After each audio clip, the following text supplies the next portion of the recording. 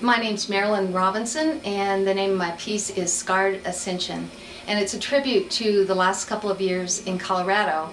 uh, where we've had to rise above so many natural challenges uh, the floods, the fires, and um, the things that result from that, and just the spirit of Colorado and how we focus, come together, and do ascend from our scars.